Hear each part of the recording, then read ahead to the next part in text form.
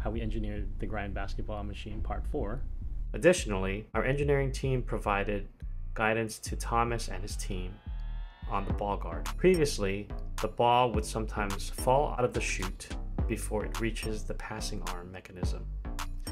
We mitigated this by introducing a rail to prevent the ball from falling out while keeping the overall package to a minimum. Through vigorous engineering, testing, and prototyping, we achieved a working prototype that met the functional and manufacturing specifications that Grind Basketball was looking for. We were happy to play a role in successfully getting the world's first portable basketball shooting machine to the market. Recently, Grind Basketball struck a deal on Shark Tank with Mark Cuban and Barbara Corcoran. This goes to show that you can merge design, engineering, and technology to develop products that will elevate the sport you love.